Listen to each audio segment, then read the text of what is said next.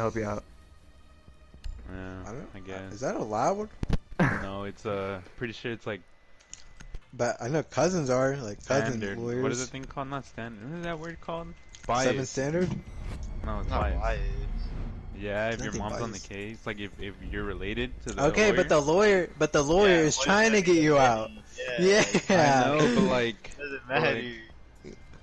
bro, my mom told me about that. It's I'm not like, so what if I get caught by the cops? And then she's like, well, I mean, I can help the attorney, but I can't be the attorney.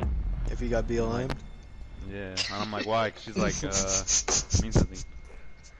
Bro, you know, you know how like, so that it's like to take this test called the bar.